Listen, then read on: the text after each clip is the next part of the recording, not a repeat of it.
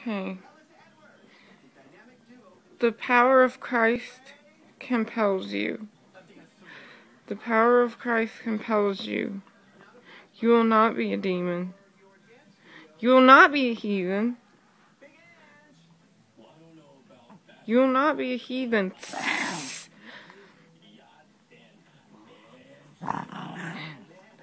See this cross? Lord,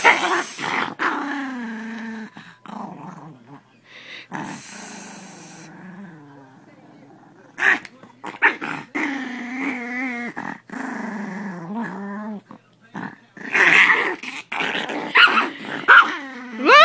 this child. Sweet baby Jesus, help the child. The demons are particularly evil today. We'll try tomorrow.